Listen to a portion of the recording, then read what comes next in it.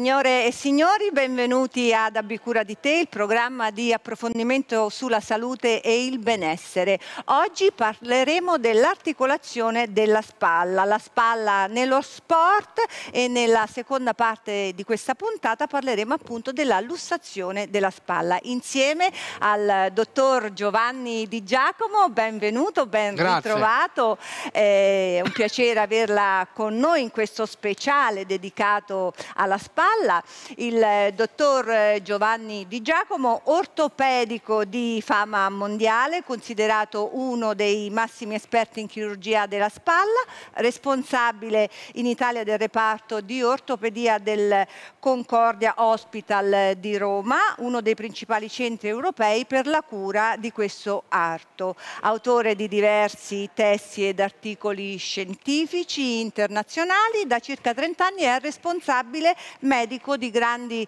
atleti, calciatori, professionisti, tennisti della classifica mondiale ATP e direttore sanitario dello staff medico degli internazionali di tennis di Roma al Foro Italico e insomma tante altre cariche. Dottor Di Giacomo, oggi parleremo nella prima parte di questa puntata di quanto è importante l'articolazione della spalla nel gesto atletico, la spalla nello sport. Assolutamente, ci sono chiaramente degli sport dove l'articolazione della spalla è più importante e altri dove è un po' meno importante. Per esempio, se pensiamo al baseball, alla pallanuoto, alla pallacanestro, al tennis, il fulcro diciamo, del movimento chiaramente verte sull'arto superiore, pertanto la spalla è, è cardine. In altri sport, tipo nel calcio, invece sappiamo che l'arto inferiore è più suscettibile, mi viene in mente per esempio la patologia del ginocchio. La spalla chiaramente quindi in alcuni sport diventa fondamentale e c'è un rapporto proprio diretto tra le sofferenze di questa articolazione e la qualità con cui i giovani atleti eh, si applicano a queste diverse discipline.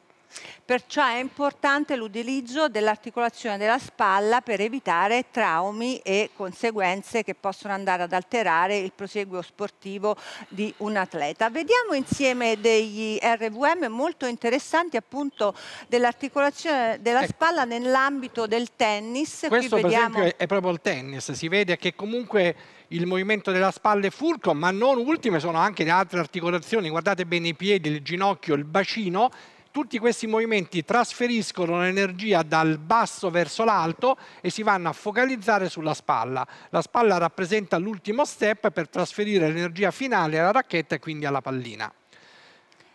Invece adesso mandiamo un altro RVM. So che lei tra l'altro è un giocatore di tennis anche, Sì, dottor sì, Di sì, Giacomo. sì, un allora giocatore- siamo in due. Bene. Eh, a presto Allora faremo una sfida, sì. Questo è un altro sport interessante, meno frequente in Italia, è il baseball. Vedete anche qui come la spalla è importante, ma non perdiamo di vista, per esempio, le gambe, gli arti inferiori, il ginocchio, il bacino, il torace. Cioè, gli sport è una sequenza di movimento tra un'articolazione e l'altro che in questi sport in particolare si focalizza poi sulla spalla. Vedete, questa è la fase del lancio, il pitcher, il lanciatore del baseball. Deve essere veloce e preciso, un po' come il tennista di prima. Un Quindi velocità come- e precisione.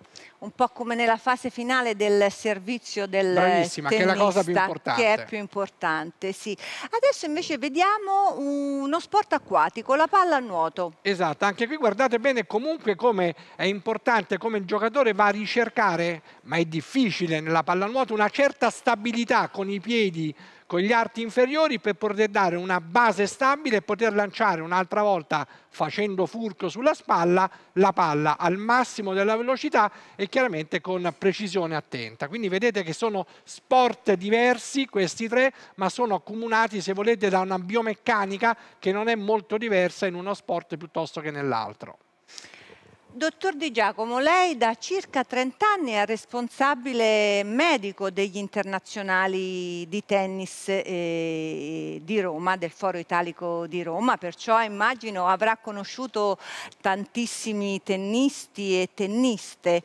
Ecco, mh, la cosa che mi incuriosisce anche come tennista, qualche aneddoto un po' particolare che ricorda anche momenti in cui, insomma, eh, oltre simpatici, anche di tensione naturalmente perché i tennisti li conosciamo tutti, hanno degli aspetti caratteriali sempre un po' molto turbolenti. Sì, molto turbolenti ma anche giustificati perché comunque sono degli sport, non sono degli sport di squadra, no? Lo sport di squadra ogni tanto si può trovare una giustificazione. Ecco, lì era insieme a eh, Djokovic. Era, eh, sì, esattamente, qui erano delle nei, nei, momenti in cui abbiamo fatto dei soccorsi in campo, noi facciamo parte del servizio dell'ATP. Mi chiedeva un aneddoto, un aneddoto che posso eh, ricordare perché è stato pubblico e quando, ahimè, tanti anni fa eh, dovemmo annullare con già lo stadio pieno una finale eh, tra eh, Costa e Rios perché Costa il giorno prima aveva avuto un grave una, un grave, un trauma distorsivo al polso, però pensava di farcela fino all'ultimo momento,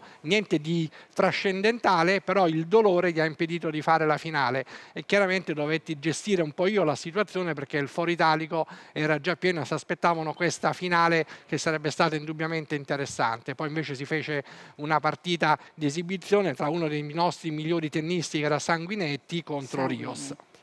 Bene, lei è anche autore di tanti libri. Io ho qui un bellissimo libro, Tennis Medicine, che lei ha scritto. Tra l'altro all'interno di questo libro, lo faccio vedere, c'è anche una dedica che le ha fatto Rafael Nadal, e che tra l'altro lei mi ha raccontato un aneddoto, è un giocatore veramente umile, vero? Sì, assolutamente. Un... Rafa eh, accettato di fare questa dedica, è un giocatore che ricordo con molta simpatia e molto affetto. L'aneddoto al quale probabilmente si riferisce che vi ho raccontato, che nello spogliatoio, più che altro nella sala medica, eh, un pomeriggio prima di un quarto di finale, mm, Rafa eh, si eh, mette sempre dei cerotti intorno alle dita, mi viene a chiedere eh, dell'alcol e io ero indaffarato a, a, fare delle ricette e delle altre cose e gli dissi a Raffa che l'alcol era nell'armadietto e poi sono stato distratto per qualche secondo da queste ricette che stavo facendo e dopo un po' ho realizzato che c'era Rafa in ginocchio, poverino, che con degli asciugamani in modo molto umile stava pulendo lo spogliatoio perché gli era scivolata la fiala dell'alcol e aveva sporcato tutto per terra. E quindi senza dirmi niente con molta umiltà si è inginocchiato e ha pulito tutto. E poi chiaramente mi sono sostituito un grande esempio oltre eh, che nello sport è anche un grande esempio ma di vita. devo dire che l'esperienza del foro italico l'esperienza di avere, di avere a che fare con campioni di questo livello è un'esperienza professionale ma anche umana. Sono delle persone che, dalle quali c'è tanto da imparare Parliamo del suo libro? Di questo libro, libro sì, dedicato al tennis? sottolineare un aspetto... Che poi è tutto in lingua inglese, è naturalmente. Tutto in lingua inglese, ma fa parte dei migliori team medici dell'ATP. Cioè ci sono i medici di Wimbledon... Spieghiamo che cos'è l'ATP, perché La... magari per i profani del tennis Giusto. non sanno che cosa è questo acronimo. Però gli amanti del tennis lo, lo sanno, sanno, molto bene. L'ATP è l'acronimo dell'Associazione del Tennis Professionistico e l'ATP eh, tanti anni fa, correttamente, eh, ha creato un team di medici internazionali che sono fondamentalmente nelle città dove si svolgono i tornei più importanti. Perché qual è la caratteristica? Un medico di una squadra di calcio, il medico della Roma, della Lazio, comunque sta a Roma e segue i giocatori a Roma ed eventualmente va in trasferta.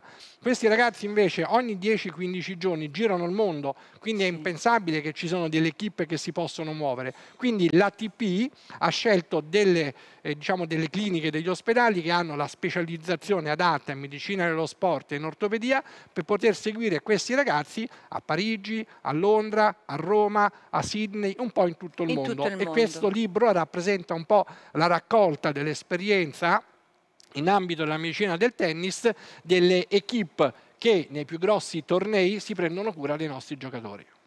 Tra l'altro è corredato anche da immagini molto interessanti con eh, tanti esercizi di eh, riabilitazione, certo. di supporto. E di prevenzione. Perché, di prevenzione perché è molto importante anche la preparazione fisica nella pratica di uno sport per appunto prevenire dei ah, traumi. Lei infatti aveva esordito molto bene parlando del gesto atletico. Se io dovessi dare il consiglio a una mamma che vuole far avvicinare a uno sport, per esempio il tennis, il figliolo giovane, due sono le caratteristiche per cercare di ridurre i danni.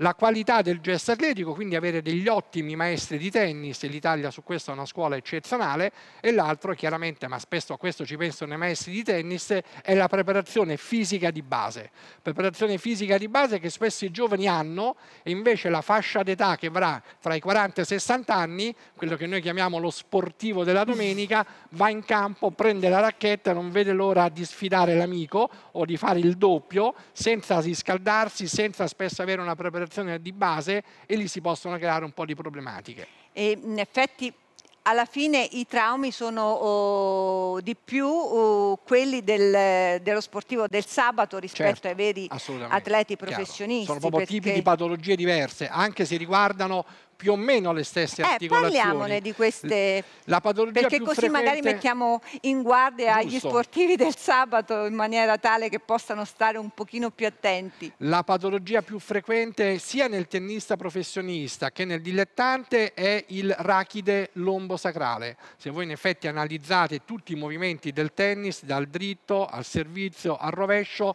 comunque tutto ruota intorno alla colonna vertebrale. La seconda articolazione è la spalla, la terza è il gomito e quindi il ginocchio. Bene, e, um, una domanda, una curiosità, il paddle. Si parla molto di paddle. Eh, il paddle è divertente e probabilmente l'aspetto negativo e positivo intrinseco al paddle è che io non lo pratico, però ho tanti amici e tanti pazienti che lo praticano, si divertono perché si impara facilmente, però a differenza del tennis non esiste un gesto fluido, un gesto che potremmo definire corretto, quindi si improvvisano un po' di manovre che spesso stressano le articolazioni degli arti superiori e degli arti inferiori. Quindi il paddle va preso giusto divertirsi, però sempre con le dosi giuste, diciamo così.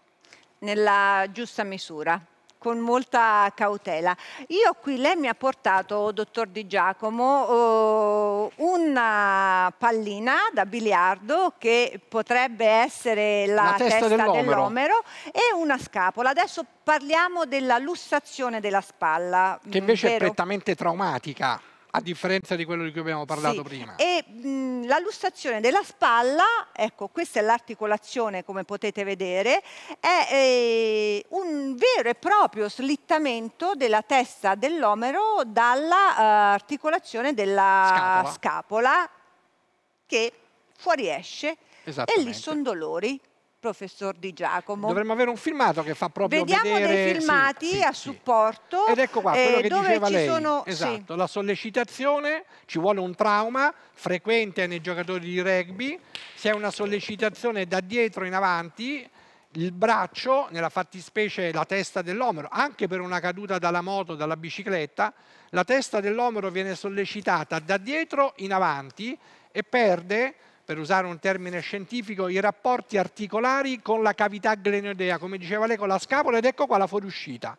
Nell'80-90% dei casi la testa dell'omero fuoriesce davanti e inferiormente. Si chiama infatti lussazione antero-inferiore ed è molto fastidiosa. Eh? Che tipo di dolore eh, può provocare? Solo chi lo solo prova può... È un bel dolore, è un dolore eh, molto molto fastidioso. Io ho visto chiaramente eh, decine se non centinaia di persone con lussazioni acute anche in campo e dolore e limitazione funzionale. E quali sono le prime terapie, le prime, i primi accorgimenti? Eh, portare il paziente al pronto soccorso dove troverà sicuramente del personale addestrato, faranno una radiografia lo sederanno e con una manovra opportuna, dovremmo avere anche un filmato, con una manovra opportuna si riposiziona la testa dell'omero nella cavità glenoidea. Questo è un filmato interessante, vedete che il ragazzo aveva lussato un'oretta e mezza prima, l'hanno portato al pronto soccorso, dopo aver fatto l'esame radiografico per escludere la concomitanza di una eh, frattura, il paziente viene sedato, è una manovra che dura due o tre minuti e con delle manovre attente la testa dell'omero viene riposizionata. Dico manovre attente perché se si fanno delle manovre troppo aggressive o il paziente è sveglio e quindi si contrae, involontariamente chi prova a ridurre può creare dei danni e dei danni anche particolarmente fastidiosi come degli insulti neurologici o peggiorare le lesioni ossee e legamentose proprie della lussazione glenomerale. Bene, io le farei vedere anche dei video molto interessanti eh, di alcuni gesti atletici che possono causare la lussazione della, mm, della spalla. E penso che il denominatore comune sia l'evento traumatico, ecco, si vede in questo caso... Sì proprio insolita come cosa, diciamo sicuramente non un professionista che poverino forse non aveva le scarpe adatte, scivola in malo modo e si crea quello che noi chiamiamo un trauma contusivo distorsivo alla spalla con la relativa lussazione. Abbiamo anche una... Ecco qua, questo è prettamente traumatico, anche questo diciamo, è lo sci acrobatico. Vedete che il ragazzo cade, cade malamente, il braccio sinistro viene stressato tra il busto e la neve e crea una dislocazione particolarmente dolorosa. Questi sono momenti molto, molto antipatici per chi ha la sfortuna di vivere questa esperienza. E poi abbiamo anche eh, questo è un altro ragazzo sì, che abbiamo operato alla spalla per illustrazione, vedete anche nel calcio, a noi capita ogni anno di operare diversi eh, calciatori me che a livelli più o meno alti, chiaramente in seguito a un evento traumatico simile a quello che abbiamo visto, dislocano l'articolazione della spalla. Evento traumatico da, da caduta. Certo. Abbiamo un filmato sul judo, anche qui Ecco qua, anche qua vedete sono delle leve, eh, lo judo è micidiale sia da contatto, poi chiaramente questi ragazzi fanno delle leve per far cadere l'avversario e molte di queste leve avvengono intorno proprio alla spalla e al gomito. Parliamo di palestra perché adesso si usa molto andare in palestra, fare trazioni, tirar su di pesi e anche per i cultori del corpo, del bodybuilding, bisogna avere degli accorgimenti perché insomma anche in quei momenti possono eh, esserci questi eh, tipi e, di e, trauma. E in modo particolare, come abbiamo visto nell'RVM che è andato, una lussazione durante un esercizio fisico e a questo punto l'esercizio non è eseguito correttamente, ma spesso è alla fine dell'allenamento, quando il tessuto muscolare è diciamo, stanco e quindi non protegge, non garantisce più la stabilità idonea. Se c'è un certo grado di predisposizione, cioè in soggetti un po' lassi, si può verificare l'episodio di illustrazione. E invece è molto interessante quest'altro video di questo sollevatore Guardate, questo mi ha veramente impressionato, dottor Di Giacomo, perché eh, deve essere terribile. Sì, penso che le immagini non abbiano bisogno di commento, poverino. È vero. Sì. Ecco, fate molta attenzione. Io lo dico sempre anche ai nostri ragazzi che si allenano in palestra, vero, lanciamo ecco, un appello di fare molta attenzione durante gli allenamenti, specialmente quando si sollevano i pesi. E di essere seguiti sempre da personale che è specializzato, cioè seguire i consigli di chi ha più esperienza di noi per fare gli sì. esercizi con le posture corrette. Allora, gli interventi specifici per la lussazione della spalla. Allora, qui ecco un messaggio importante che normalmente dopo il primo episodio si può tranne che in casi particolari, evitare l'intervento chirurgico. La testa dell'omero, abbiamo visto, normalmente in pronto soccorso viene riposizionata e il paziente porta al tutore e fa un po' di fisioterapia. Se si dovessero ripresentare degli episodi, possiamo optare per l'artroscopia di cui vediamo adesso il filmato. Durante l'intervento vengono messe delle ancorine e questi legamenti che vedete questo strumento sta agganciando vengono tramite le ancorine reinseriti. In un certo senso si richiude il cancello che mantiene il rapporto corretto tra la testa dell'omero e la scapola, la testa dell'omero che è scivolata. Si chiama capsuloplastica artroscopica, è un intervento molto delicato, anche qui chiaramente ci vuole del, del personale, de, dei medici che siano specializzati, se non ultra specializzati in questo tipo di chirurgia che è molto elegante perché avviene attraverso tre piccoli fori, quindi non si crea nessun disturbo particolare né alla pelle né alle altre strutture. Diciamo che questo intervento in artroscopia normalmente è consigliato quando gli episodi non sono tanti e non si hanno lesioni diciamo particolarmente gravi.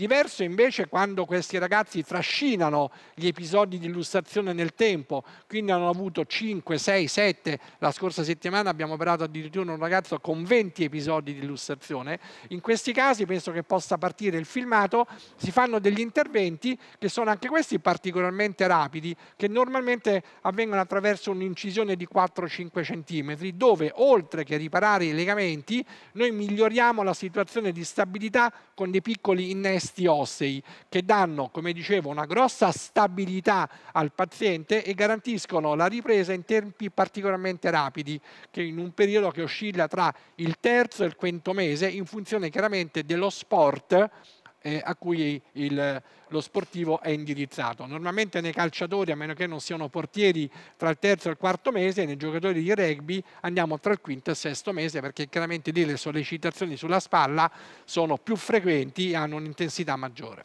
Chi sono i soggetti più predisposti alla lussazione della spalla? Ecco, questa è una bella domanda. Ci sono due gruppi. Alla lussazione puramente traumatica sono chiaramente quegli uomini e quelle donne che fanno degli sport traumatici, quindi eh, il rugby, la moto, la caduta dalla bicicletta, però esistono, e qui è un po' più frequente nelle donne, dei soggetti che sono geneticamente predisposti, quelli che noi chiamiamo sono un po' lassi. Questi soggetti possono avere degli La lassità uno scarso tono muscolare. Che o spesso ah, sono, sono abbinate, sì, legamentose, però spesso i soggetti che hanno una patolassità fanno fatica a mettere massa muscolare, esattamente. Perciò è importante in questi soggetti eh, tonificare tutti Bravo. i Prevenire, muscoli individuarli che... e tonificare. Perciò i muscoli delle spalle. Non solo delle spalle, perché come abbiamo fatto vedere, la spalla è un anello di una catena cinetica, quindi si fa sempre una riabilitazione funzionale globale che parte dalla spalla ma interessa un po' tutto il corpo. Perciò una riabilitazione funzionale globale. Esattamente. Bene. Allora, abbiamo sempre la nostra attrice, autrice Raffaella, che come salve, salve ogni tutti, puntata ci regala delle pillole di eh, poesia. no, ci... non è una poesia, è una frase tratta dal film L'avvocato del diavolo con Al Pacino. Ci provo, eh? Le spalle di una donna sono gli avamposti della sua mistica e il suo collo sei viva, ha tutto il mistero di una città di confine o di una terra di nessuno. È il conflitto fra la mente e il corpo. È bellissima. Molto, molto complimenti. Lui la poi... diceva benissimo al bacino, però è carina.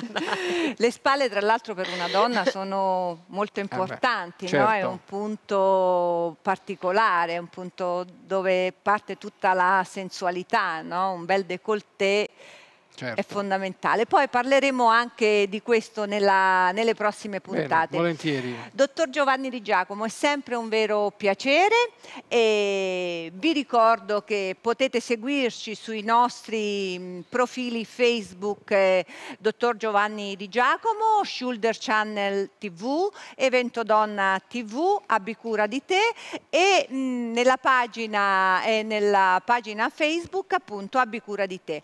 Perciò cari, amici, cari, cari amiche e cari amici, vi do l'arrivederci alla prossima puntata e abbi cura di te.